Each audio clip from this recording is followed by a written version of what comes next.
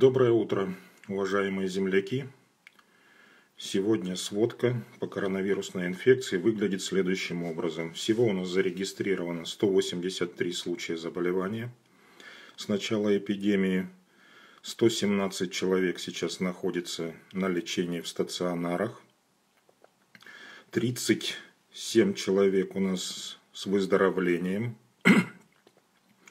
Вот, выписаны из них двое детей.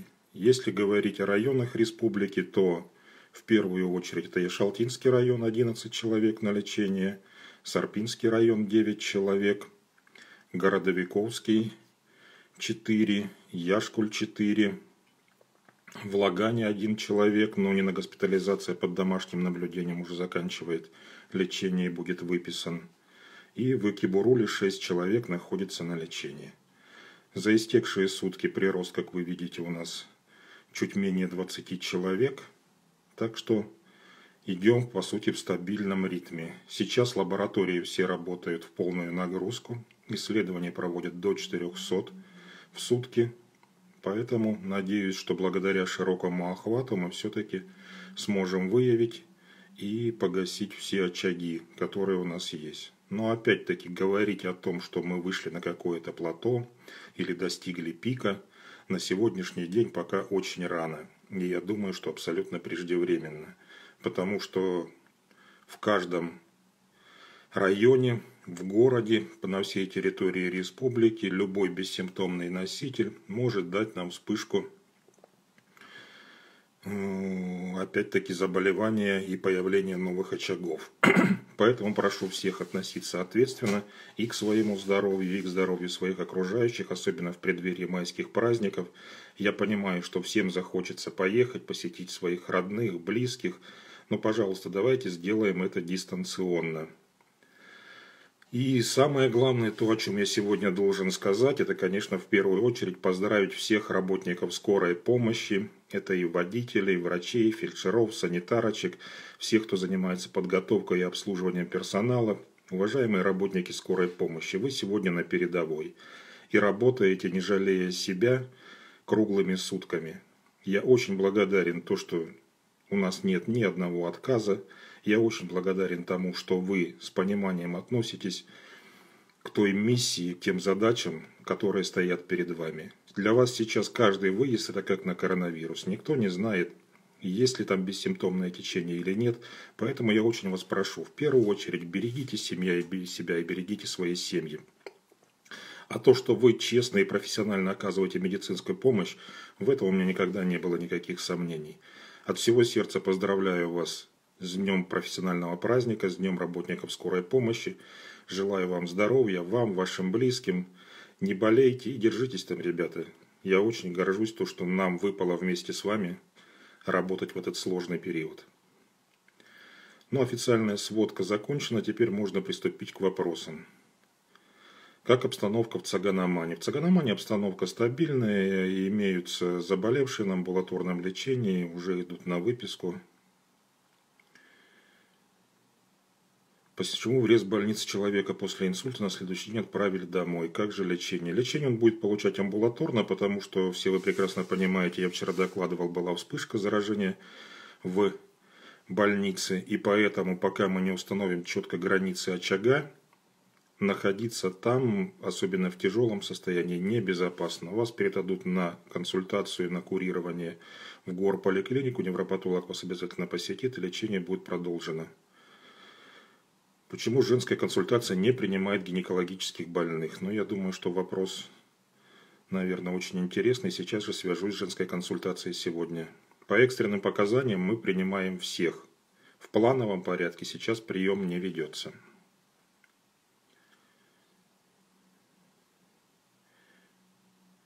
Если ОМС разглашает фамилии контактных. Медсестры, наверное, нормально? Нет, ненормально, за это нужно наказывать. Понятие врачебной и медицинской тайны никто не отменял. В Лаганском районе есть один пациент, который находится на амбулаторном лечении, бессимптомное течение. По-моему, завтра или послезавтра он сдает третий анализ и будет выпущен. Нужно обрабатывать продукты, купленные в магазине, а также овощи. Ну, какой-то такой острой необходимости нет. Если это овощи и фрукты, то их в обязательном порядке надо мыть. А обрабатывать хлеб или что-то еще, ну, я думаю, что нет. Как в Экибуруле. Шесть человек в Экибуруле, состояние удовлетворительное, персонал работает, все в порядке. Как в Октябрьском районе. В Октябрьском районе пока спокойно все. Можно ли заболеть в продуктовом магазине и правда, что вирус висит в воздухе 3 часа? Нет, вирус не может висеть в воздухе 3 часа, а заболеть можно везде абсолютно, и в продуктовом магазине, и на улице, и в больнице. Как обстановка в Малых Дербетах? В Малых Дербетах тоже пока обстановка спокойная. В Юстинском районе тоже пока никаких опасений нет.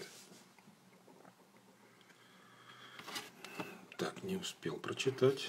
В сети появилась информация, что в Москву едут заражения. Нет, это бред и фейк. Никто специально зараженных никуда, ниоткуда не посылает. Это провокационная информация и абсолютно глупая. Сколько дней в среднем болеет человек? Ну, в среднем получается у нас где-то 14 дней. Протекает заболевание.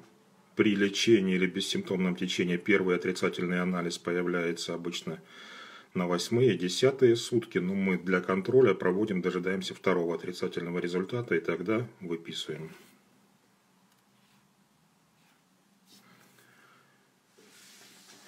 В Сарпинском районе 9 подтвержденных случаев заболевания. Как обстоят дела с контактными? Контактные находятся под медицинским наблюдением, учитывая того, что там по статистике за последние дни не прибавляется случаев, значит, надеемся, что очаг локализован полностью и каких-то других пациентов пока не ждем.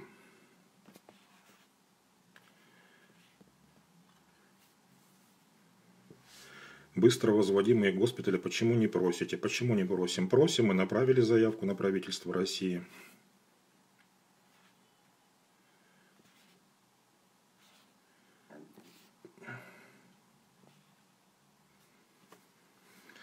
Написать жалобу на медицинскую сестру, которая во всех группах писала про контактных? Ну как, просто берете листок бумаги и пишете министру здравоохранения Республики Калмыкия такой-то, такой-то, и все.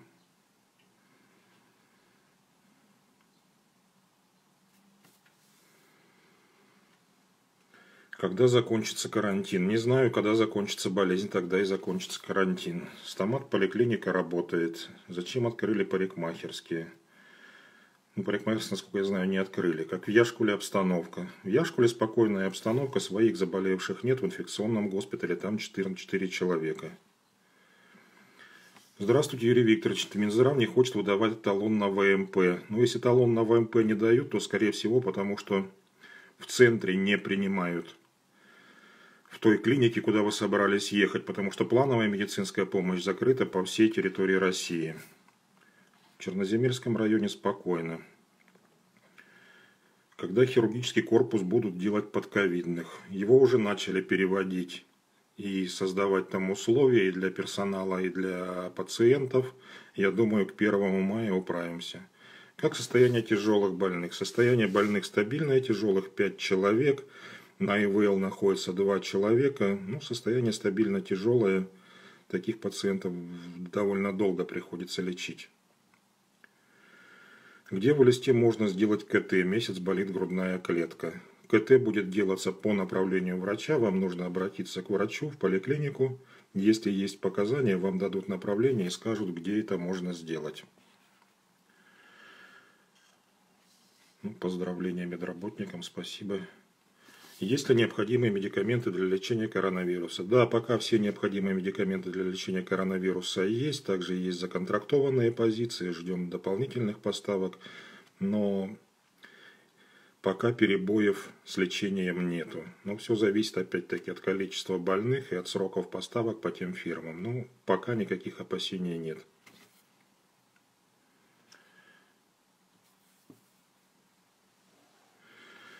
Для чего переводите пациентов из Городовиковской больницы в Ешалтинскую? Долечить, пожалуйста, пациентов из Городовиковской больницы. Я переживаю, что наложится один штамп на другой. При транспортировке больных из Городовиковска в Ешалту делается в первую очередь для того, чтобы сделать компьютерную томографию и не пропустить начало пневмонии, то есть поражения легких. В Городовиковском районе своего КТ нету, поэтому компьютерная томография проводится в Ешалте. Что один штамм на другой, ну это скорее иллюзия, чем факт, потому что у нас по Калмыкии циркулирует, скорее всего, один штамм. И все тяжелые пациенты переводятся в листу. Поэтому с целью ранней диагностики осложнений, чтобы не допустить этих осложнений, больные из Городовиковского района переводятся на КТ, и если у них подтверждается там пневмония, то будут переводиться в город. Если пневмонии нет, то будут продолжать лечение по месту.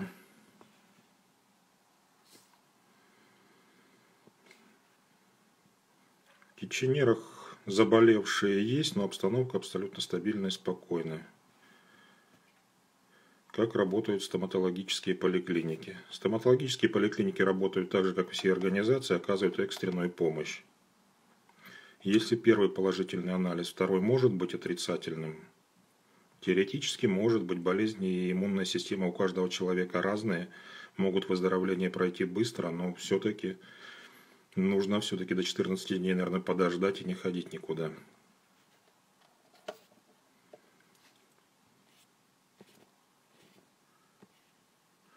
4 мая у моего ребенка плановая госпитализация. Если у вашего ребенка плановая госпитализация в какой-то из федеральных центров, то вам нужно все-таки либо самой связаться с центром, либо обратиться к специалистам Минздрава и узнать, принимает ли центр, чтобы вы напрасно не ездили.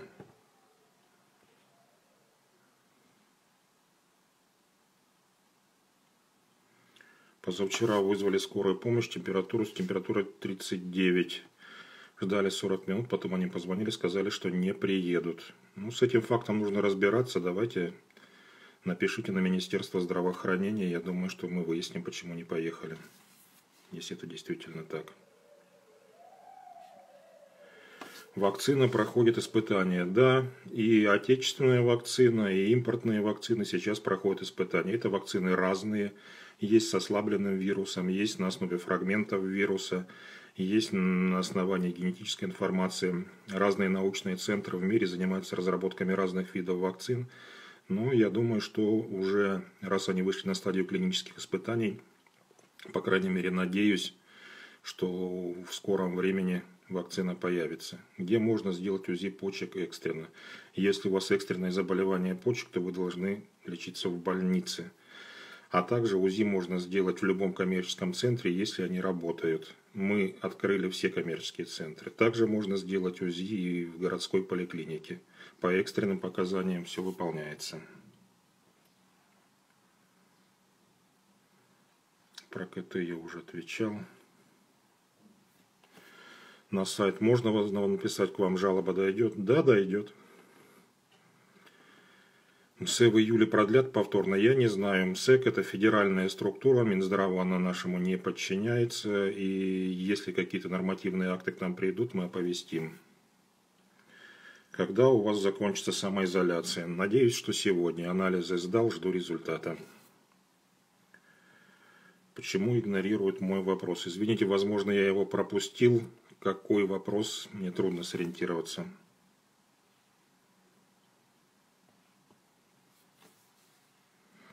Здравствуйте. Выпускницам медвузов после обучения 6 лет по специалитету как педиатрия и лечебное дело обязательно приступить к работе в этом году.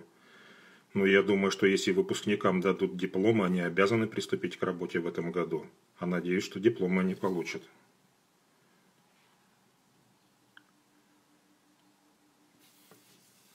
В официальном документе от Питера сказано в первом пункте талон вам ПП, но наш Минздрав не выдает. Ну, напишите мне подробно ситуацию, я разберусь с ней.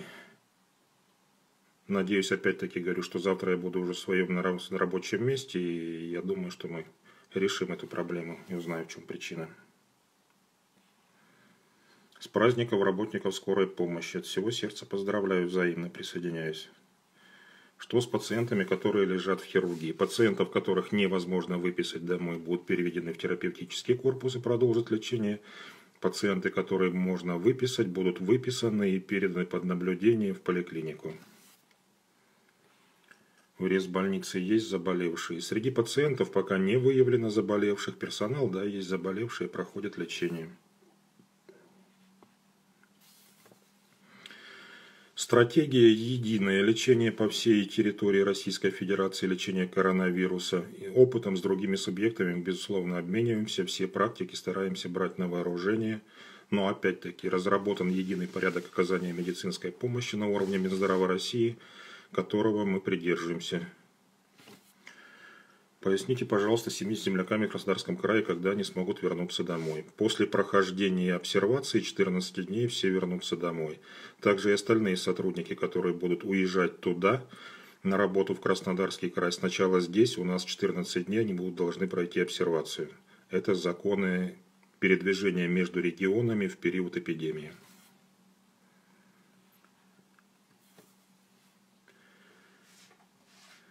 Статистика заболевших разная. Да, статистика заболевших разная, потому что она передается в разное время. Мы собираем статистику, я в своих докладах каждое утро на 8 утра. А статистика, которая федераль... собирается на федеральном уровне и печатается во средствах массовой информации, в Яндексе и везде, она собирается за разные временные отрезки. Поэтому разночтение есть, но в конечном итоге она все равно одинаковая. Улучшения есть у тяжелых? Да, безусловно. Это не одни и те же тяжелые больные, которые находятся у нас на ИВЛ и которые есть в статусе тяжелых. При улучшении состояния они перемещаются в другую группу, появляются вновь тяжелые.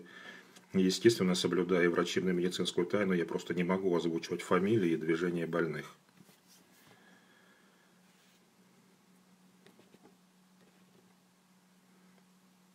Добрый день, Юрий Викторович. По приезду из Москвы можно изолироваться в обсерваторе? Да, конечно, можно. Обсерваторы у нас работают, и если вы не, не имеете возможности изолироваться от своих родственников в домашних условиях, обратитесь в поликлинику и вас направят в обсервацию. Можно ли выезжать в Элисту? Ну да, я думаю, можно, почему нет. Температура 37 уже месяц. Где можно сделать УЗИ почек? Я думаю, что вам для начала нужно обратиться к терапевту. Если терапевт расценит, что у вас есть изменения, то тогда направ... даст направление на УЗИ.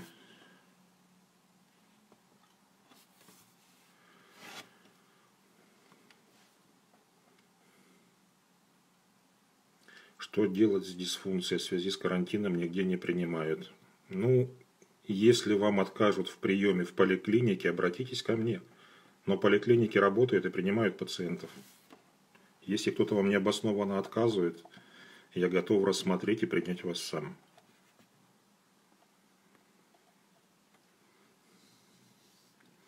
Можно ли поехать в район, если нет признаков заболевания? У меня там дети. У меня дети тоже в районе. Я здесь на самоизоляции, несмотря на то, что сдаю регулярно анализы. Вот сейчас сегодня сдавал анализы, завтра выхожу на работу и вроде бы на 100% уверен, что я здоров. Я маловероятно поеду к своим детям. Я бы лучше остался в режиме самоизоляции.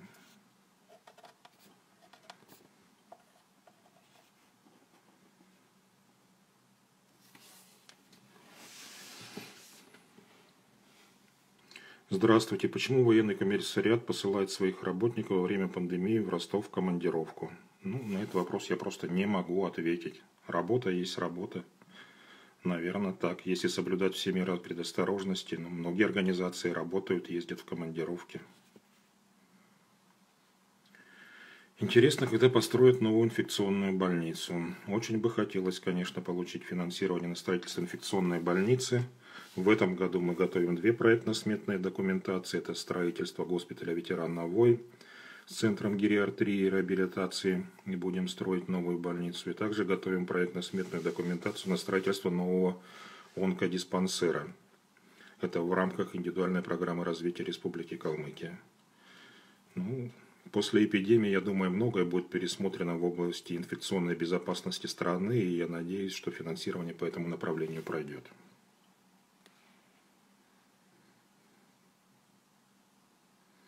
Можно ли по приезду с Питера сразу попасть на изоляцию в обсерватор? Конечно, можно. Места в обсерваторах есть, обсерваторы у нас есть, персонал там работает. Поступит ли в республику тест системы на коронавирус и антитела к вирусу?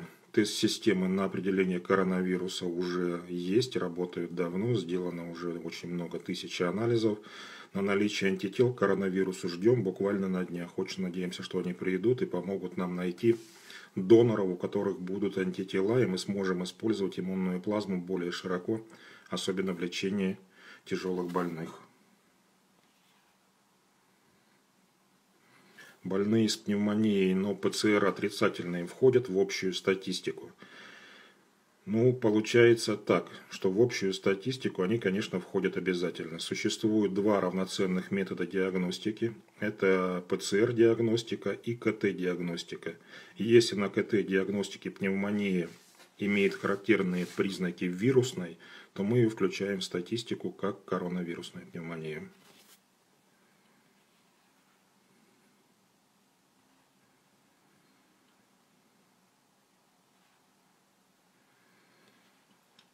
Сколько надо сдать анализ на коронавирус? Три раза.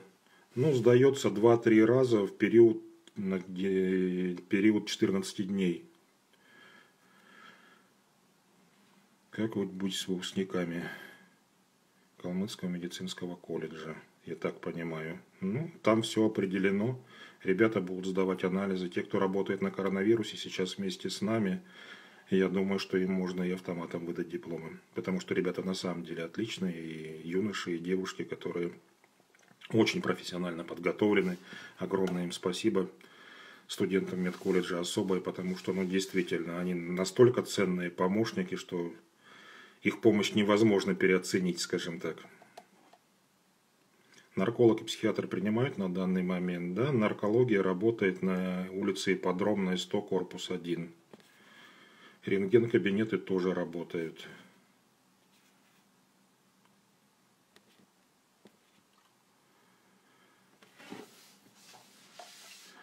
Городской поликлинике на УЗИ почек не принимают. По направлению врача будут принимать всех.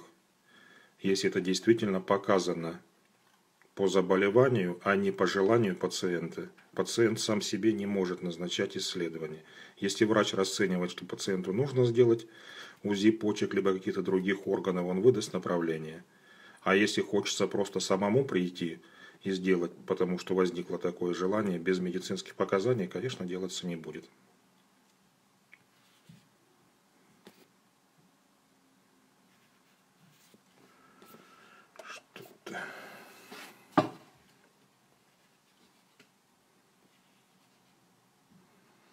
Работает ли лаборатория СС? Да, лаборатория СС работает сейчас в круглосуточном режиме. Когда начнутся выплаты медикам в инфекционной больнице? То, что обещали с федералки, и то, что от республики. От республики и от ФОМСа деньги поступили на счета. От федералки, федерального бюджета пока не знаю. Завтра выйду на работу, разберусь. Но то, что обещали медикам, мы выплатим в полном объеме. Как здоровье? Делали тест во второй раз? Да, тест сегодня сдал. Если придет отрицательный, завтра выйду на работу. Первый был отрицательный. То, что касается меня.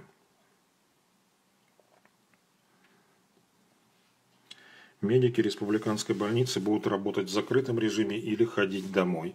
Я бы предпочел, чтобы они работали в закрытом режиме, потому что для того, чтобы ходить домой, они должны быть полностью уверены в том, что они самоизолированы. И самое главное, все остальные сотрудники должны быть уверены в том, которые рядом с ними, что человек, который уходит домой, не нарушает режим полной самоизоляции, не контактирует, не ходит в магазины, не ездит в такси, не бывает на улице.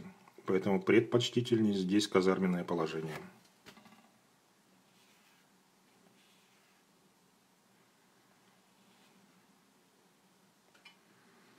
Беременные переносят пока в удовлетворительном состоянии.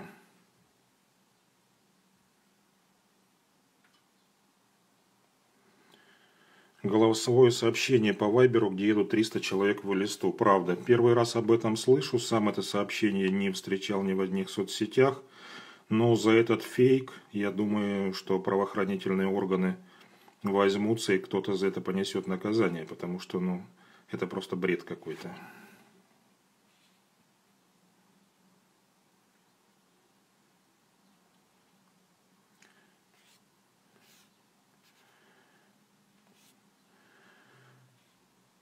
Опыт первого месяца коронавируса показал, что все медицинские работники в зоне риска. Почему нельзя увеличить заработную плату всем? В зоне риска на самом деле находятся не только медицинские работники, но и все граждане Российской Федерации.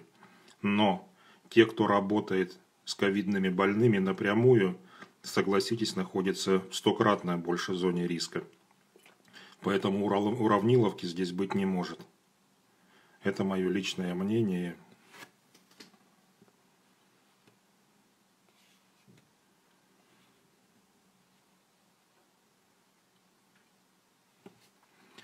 Здравствуйте. Если коронавирус подтвержден, то больного забирают сразу в инфекционную. Что с контактирующими? На сегодняшний день, если коронавирус подтвержден и протекает в легкой форме, то есть без температуры, без осложнений, то больного могут оставить дома, если он может самоизолироваться, и ему родственники могут организовать доставку продуктов питания. Тогда он ежедневно наблюдается амбулаторно и находится дома под наблюдением, опять-таки, я говорю, медицинских работников. При ухудшении его состояния то есть появление температуры, каких-то симптомов, он будет переведен в инфекционную больницу. Если человек не может самоизолироваться, либо у него сразу признаки того, что протекает не в легкой форме, то сразу госпитализируют.